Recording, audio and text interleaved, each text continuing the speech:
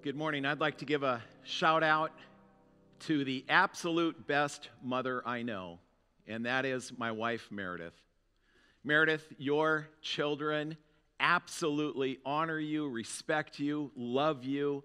They uh, recognize how much you have poured into them, and uh, it has not been in vain. And as far as their, uh, your grandchildren go, uh, I believe with all how many is it now? Five of them. They all rank you amongst their top friend. So good job.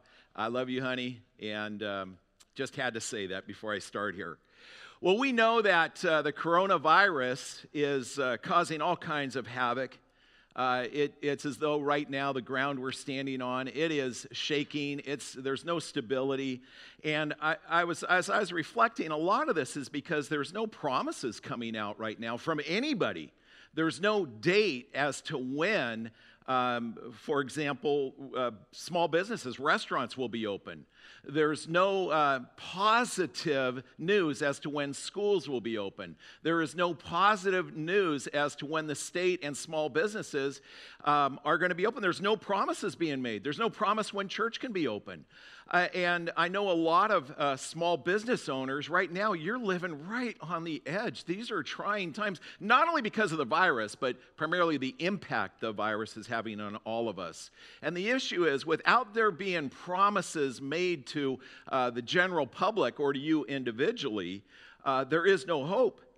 And that's what we're all feeling. We're feeling the effects of that. And so uh, I'm going to back up the bus and go from hope to the promise. And today we're going to dig deep into unshakable promises. Uh, we're going to look at some unshakable promises of God. Now, this is uh, the fourth part in our series. And uh, we've talked, we started out talking about God's unshakable protection. Remember the, the three young uh, boys in the fire? We uh, talked about Elisha the next week, about God's presence, the chariots of fire. We talked last week about God's providence uh, and how he worked in Joseph's life. And today we're talking about promises, and we're going to look into uh, the life of Ruth. But before I go there, I, I really want us to think about, um, to think about promises. I'm not sure we uh, well, if you're like me, I, I, don't take a whole lot of time and ever dwell on even the concept of promise. And I want to I want to get us to that point before I talk about Ruth and even some of God's promises. But I first want to share with you what uh, promises can do. And there's, uh, of course, they can do a lot of things. These are four things that came to the top of my mind. One is promises leave a favorable impression. Um, they absolutely do. They address a desire or a need that you have. And uh, when you hear that promise, it, it, it just gives you a warm feeling. This is before the promise is even uh, made, but even a promise given does that for us. That's why it's such an effective tool of politicians. Um, and I don't want to stereotype too much, but of salesmen. And even parents make these promises, and it just seems to bring a certain amount of calm and in our innocence, when we hear those promises, they draw us to like the one who's making the promise. But they also do this, they create a certain vulnerability because now when a promise is spoken, uh, a promise is expected. But let me give you a second thing what promises can do is promises may conceal dishonest intentions. Why? Because maybe there is tremendous pressure that is being felt, and a promise can temporarily relieve some of that pressure. Or perhaps a person is in trouble, and a promise made can push uh, the trouble down the road a little bit. Um, but not all promises made are, are honest, they can be dishonest. Uh, I think about that in my own life where I've had people who have borrowed money. Um, and I'm not just talking $5, $10, but I mean hundreds of dollars, in one case, over a thousand dollars. And uh, people very desperate. No, I promise I'll get you. I'll pay you back. And uh, you know, I'll never see that money again. Dishonest. Uh, I think about this. I thought about this story. There was a time before I moved into ministry when I worked in uh, a company called Manning Environmental. And Manning Environmental was in the um, Harvey West Industrial Park. We called it that, some industry, uh, industrial park. But the, the company was uh, at 120 Dubois Street. and we had it, we were a small company maybe 70 people and we had an opening for a customer service technician and one day a guy shows up with a polished resume looked great his name was bo dubois Bo Dubois wanting to work for us on Dubois Street. And uh, he impressed everybody. He had, a, he had a charming southern accent. When we hired him, he wasted no time at all in getting to meet all 70 of us who worked in the company. And what he did is he began making promises based on some of our interests uh, that we had. Uh, if you had an interest in, say, classic cars, he had one he was going to sell you at dirt cheap price, fully restored. If you had an interest in boating, uh, he had a boat that he was going to let you borrow and use. Uh, he promised me and Meredith that uh, he had a houseboat up in Sacramento that he was going to let us go up there for a week and have a vacation. And It was like fantastic. Uh, he, he, had uh, extra motorcycles. He was looking to give one away. All these promises. And I remember the chatter in the company was all like, man, isn't Bo a great guy? A month later, he never shows up for work and he embezzled tens of thousands of dollars from that company. Um, and it taught me something about, uh, about promises is that promises um, are very cheap. they are very cheap. Uh, one of the promises that I think has harmed a lot of people is those, if you've ever found yourself in a, in a uh, codependent relationship where you've experienced, you've been on the abuse receiving end. The abuse happens, the uh, perpetrator uh, is remorseful, confesses, promises, I'll never do that again. I'm sorry, just let me back in. I, will never do that. I'll change my ways. And for a while, there's the com, and then it comes again. And the same cycle, and the cycle goes again and again and again. And um, it's just, it breaks my heart because as a pastor, I hear of these things. But when I think about uh, the darker side of promises, um, I get a little bit skeptical. Perhaps you do too. Now, here's the third thing what promises can do is promises unkept. And that's where we get in a problem when you have a promise maker but not a promise keeper. They may cause unrecoverable disappointment. Um, they may cause unrecoverable, that there's a pain, a wound, a scar that, uh, that gets embedded that won't heal. I did a little Google search and I, I simply put in what are um, the most unkept promises? Uh, it was something to that effect. And by far, the number one unkept promise um, was revealed, and it was this. And I know this may hit home, close to home for some people. I promise to have and to hold from this day forward, for better uh, for worse, for richer, for poorer, in sickness and in health, to love and to cherish till death do us part. And I know that's a promise two people make to each other, and that promise is valid as long as both people keep that up. And unfortunately, a lot of times, one person loses interest and said, I'm done. Um, and think about the disappointment that comes with that. Now, is there redemption? Sure, there can be redemption. But as far as that relationship goes, the disappointment is unrecoverable. By the way, I want to let you know that I make promises and I break promises. You make promises and you break promises too. And the problem with this is that they erode trust. Um, even in little things like, hey, I'll be there in five minutes. You ever say that? Or, hey, I'm busy, I'll call you later. Give me an hour. Or, hey, we'll keep in, tr- we'll keep in touch uh, for sure. Or, you know, uh, let me think about that. I'll get back to you. Or how about this one? You ever hear this one? Well, we can still be friends.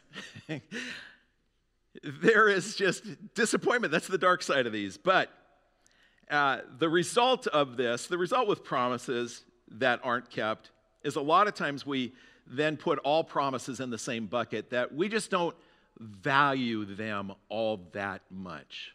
We just don't. And that's where I want to reverse that a little bit or that thinking today. See, because what promises can do, promises made by, by a promise keeper bring hope. And I want you to know God is a promise maker and God is a promise keeper. He has an absolutely perfect track record. He has never made a promise that he has not kept. And that is what sets him apart from all others. I remember being in seminary and we had to uh, do uh, uh, talk about God, like who is God, what is God. I, I, believe it's what is God, and, and I believe the consensus, and we had to be as concise as, as we could. And I remember one of the answers was this God is like no other. God is like no, there's nothing you can compare God to, especially when it comes to his track record of making and keeping promises.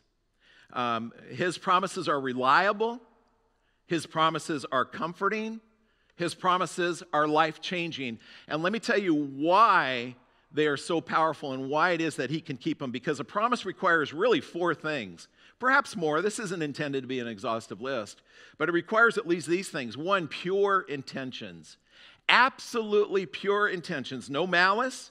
They're not self serving, they're genuine, and they're for your good. Think about Jeremiah 29 11, where the Lord said, for, for I know the plans I have for you, declares the Lord plans to prosper you and not to harm you, plans to give you a hope and a future. Uh, that's the pure intention of God that He pours out to you and to me.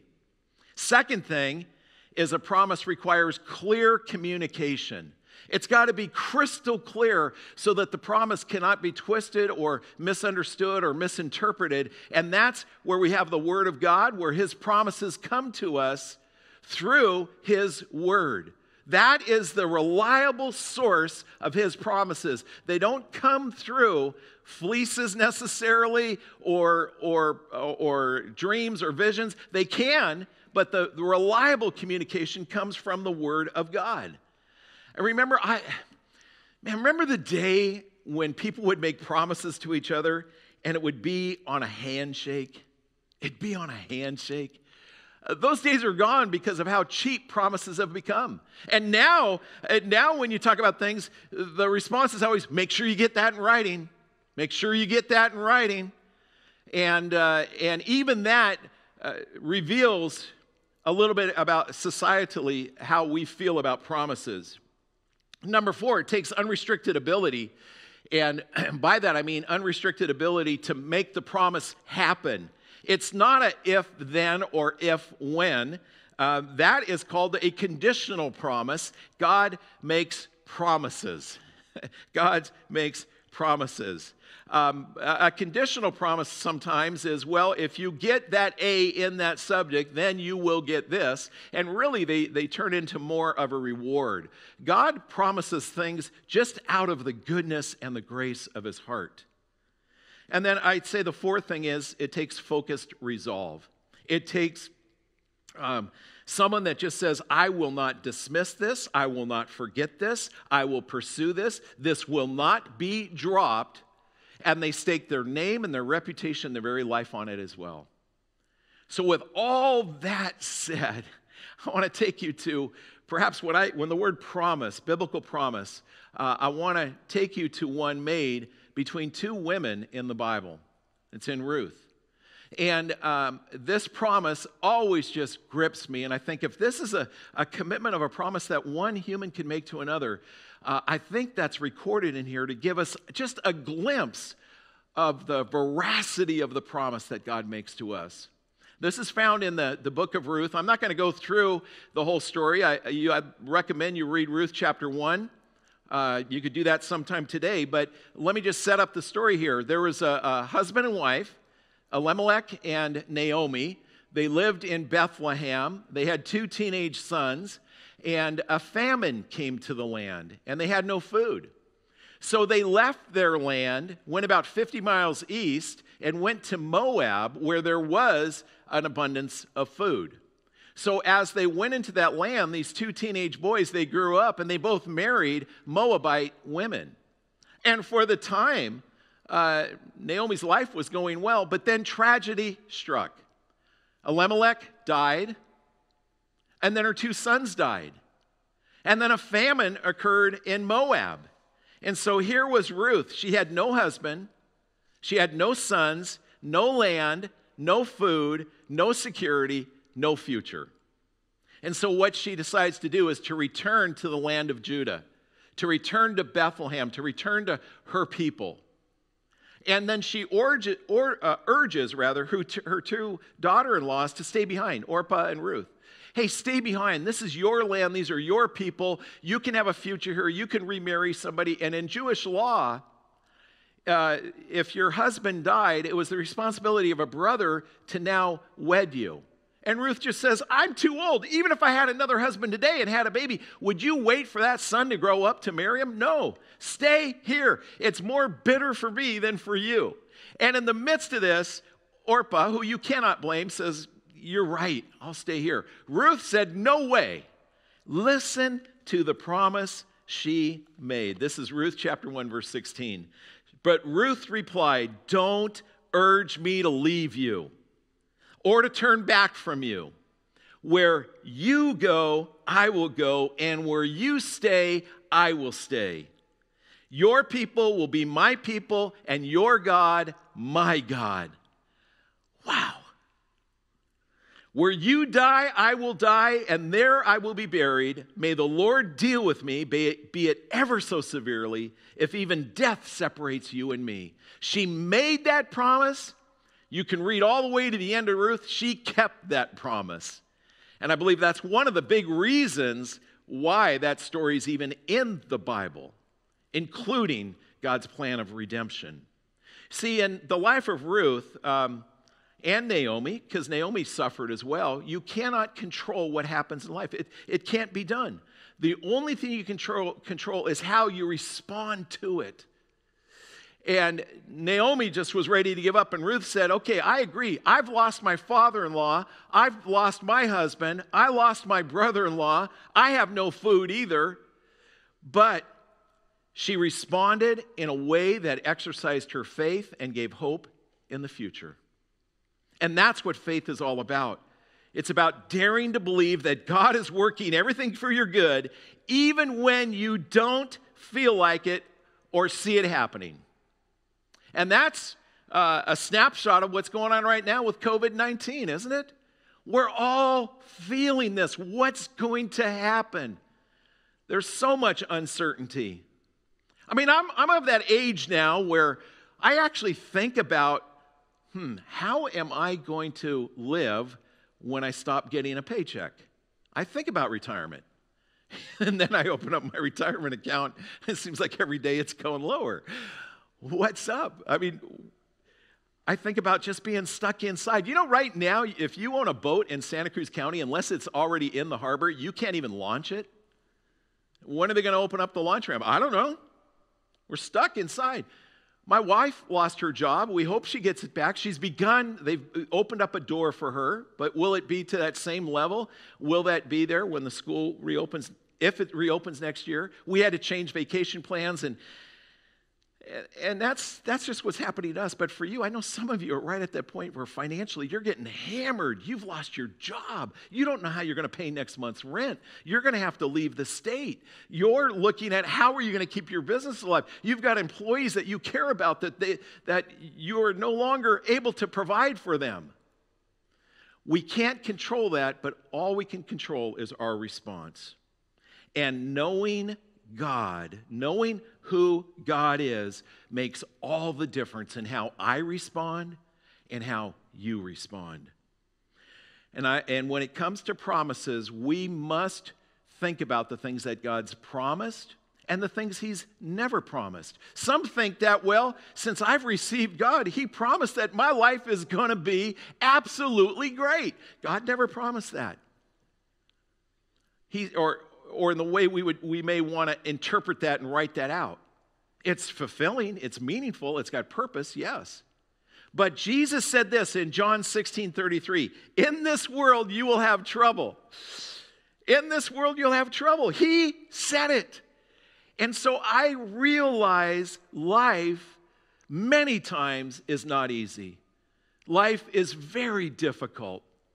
Life sometimes is not fair. And when it's not fair or when it's not easy, I don't go back to God and say, God, why? I say, God, you told me it would be like this. You told me to be like this. And I was just thinking about some things in my own life, and, and honestly, I've had a pretty good life, but five different times I've been carted into the ER with a life uh, threatening situation. I've gone through nine different surgeries. I've been in auto accidents where I have totaled the vehicles.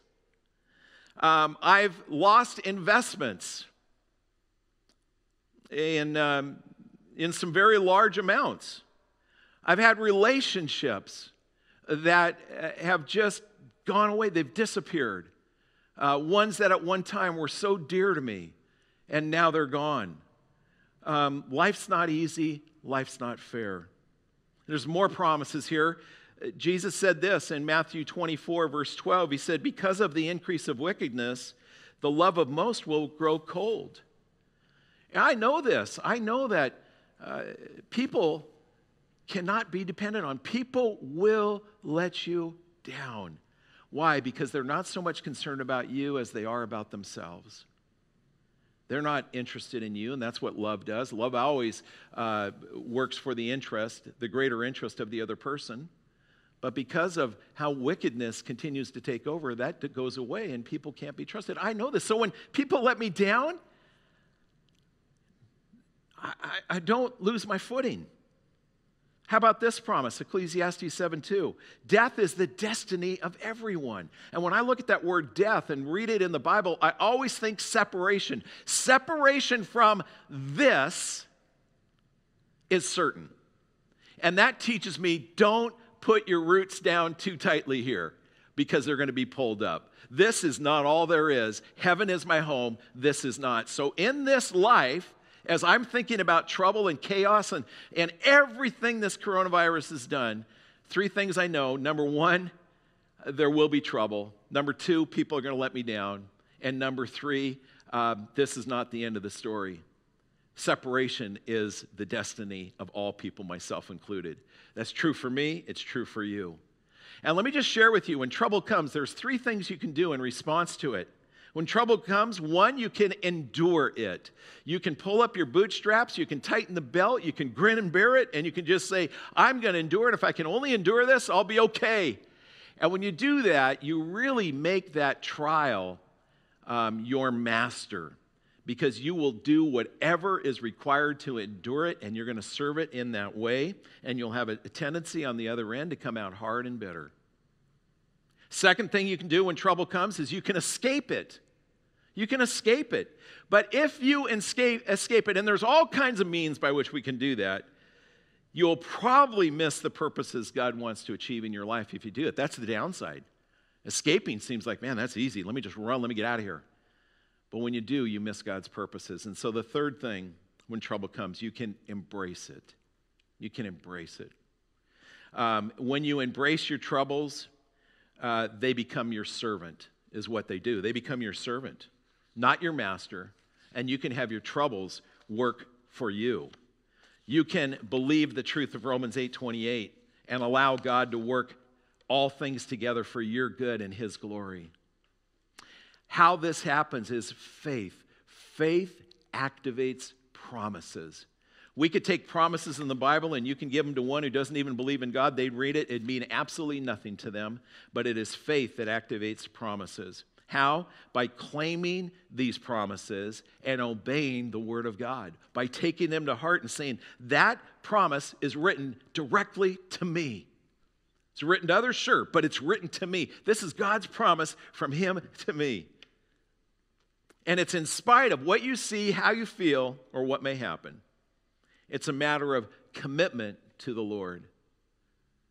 And He will make His promises come true. Listen to this. This is in Numbers 23 19.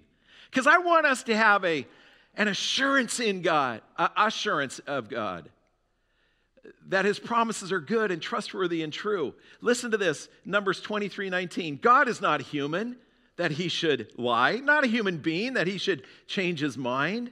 Does, does he speak and then not act? Does he promise and not fulfill? It's rhetorical. No, he is unlike any other. God is totally other. We have to keep that in mind with Him and His guidance and direction and truth and promises that He gives us. Listen to this The Lord is near to all who call on Him, to all who call on Him in truth. Psalm 145 18. He is near. You don't have to set an appointment to talk to God. You don't have to get him on uh, the calendar. You don't have to wait until he's accessible or he's got time or he's not busy dealing with something else. He is near. He is always near. He is always a breath away from you. And if you feel like you have turned against him and are going the other way, if you turn around, you don't have any ground to make up because he will be right there. That's the promise of God. Some of you need to grab hold of that and say, God, I feel like I'm alone. God, I feel like you've deserted me. God, I feel like I'm isolated. And the truth, that's a lie. The truth is, God is near. He is with you. He is near. Here's another promise uh, Hebrews 13 5. Never will I leave you, never will I forsake you. He is unconditionally for you forever. He is unconditionally for me forever. Never will I leave you. It's just the confidence I have. God's not lying to me. God is telling me He's near. He never leaves me alone. He will never forsake me, never abandon me. As I was thinking about this, I came across this old poem, and I'm sure you've heard it, called Footprints in the Sand. Let me, let me read this to you. Know, you could get the words by Googling it, they're readily available. But listen to this. One night I dreamed I was walking along the beach with the Lord. Many scenes from my life flashed across the sky. In each scene, I noticed footprints in the sand. Sometimes there were two sets of footprints, other times there were one set of footprints. This bothered me because I noticed that during the low periods of my life, when I suffered from anguish, sorrow, or defeat, I could only see one set of footprints. So I said to the Lord, You promised me, Lord, that if I followed you, you would walk with me always. But I have noticed that during the most trying periods of my life, there has only been one set of footprints in the sand. Why? When I needed you the most, you have not been there for me. The Lord replied, The times when you have seen only one set of footprints is when I carried you. Let me tell you the rest of the story because. Uh, a lot of times, and I've, I've read this, I've quoted this, I've, I've, I've uh, had this in sermons before, and typically uh, it's been attributed to Anonymous. But um, they've actually discovered the author of this uh, poem. And this was written by Mary Stevenson in 1936. Mary at the time was 14 years old. She lost her mother when she was six years old, and then um, she had many brothers and sisters. Her father did his best to provide during the Great Depression, and she went through that. And as a 14 year old, this is what was consuming her thoughts. Amazing. but let me just tell you about some promises. Here's some promises God has made. He says, I tell you the truth. Whoever hears my word and believes him who sent me has eternal life and will not be condemned. He's crossover from death to life. That promise says he's settled my future. My future is in his hands. I've trusted him with that. And if you have, you've got this same promise. You're not going to be condemned. You've crossed over from death to life. You will not be separated from God. You will be with him forever. That's a promise. That's a promise that I have uh, staked my life on. And you can too. How about this one? Psalm 23 4. Even though I walk through the darkest valley, I will fear no evil. For you are with me. Your rod and your staff, they comfort me. God, that's what your presence does. It comforts me. It reminds me that you're with me. Um, it, it, it allows me not to fear any unevil or any evil or uncertainty. And that's what I need to hear at a time like this. I need to hear, I don't know what's going to happen today or tomorrow, but I know the future for me. I know I have nothing to fear because God is with me and He will comfort me, His rod and His staff. He is my shepherd and He is your shepherd if you've received Him into your life. And then the last and final promise, and this there are so many promises in the Bible. One of the one of the things I would encourage you to do, either in your Bible or on your app, when you come across a promise of God, pick a color and highlight it in that color so that you could take your Bible and just flip through. And every time you see that color, there's a promise, there's a promise, there's a promise. There's a ton of them, and those promises bring us hope and comfort and relief. But here's one Proverbs 3 5 and 6. Trust in the Lord with all your heart and lean not on your own understanding. In all your ways, submit to him. And here's the promise He will make your paths straight. It's confusing these days. What do we do? Where do we go? How do we act? What, what shall we, how, how do we respond? God says He'll make your path straight. He gives us that promise. These are promises we activate by faith. We take them to heart, we read them, we soak them in, and we claim them as ours. We're not putting words in God's mouth. What we're doing is we're receiving what He has spoken to us. And I believe that is what we could use. That's, that's the dose of encouragement we could use for today during this crisis. And I hope that's what it has accomplished. Let me pray. Father God, uh, you are the source of so many blessings. Thank you, God, that you are a promise maker. And even more importantly, you're a promise keeper. Your intentions are pure, your communication is clear. God, you have the ability to make uh, all these promises and keep every single one of them.